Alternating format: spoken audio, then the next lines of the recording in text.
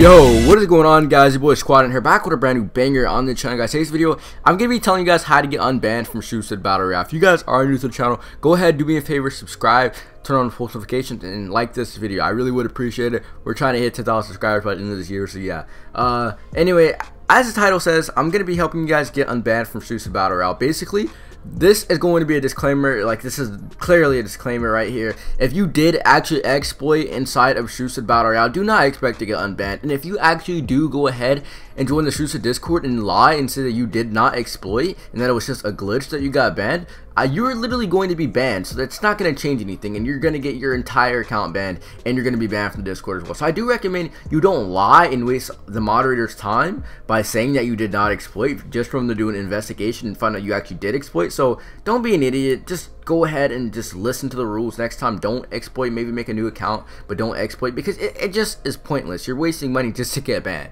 But anyway for you guys who did not exploit inside of Strucid Battle Royale if you want to get unbanned all you have to do is go ahead join the discord for Strucid I think you can find it on uh, Phoenix or aka Andrews uh, uh, god I can't even speak but it's Twitter. Uh, it should be Phoenix Scientist Twitter, and when you go in there, there should be a link for Strucid Discord. And when you do join it, you're gonna want to go and say hacker inside the chat. I don't know why, but just do that, and it'll say something about creating a ticket. And create the ticket, and then once you create the ticket, you can literally go ahead and um, say, uh, just make a ticket and say why uh, that you got banned.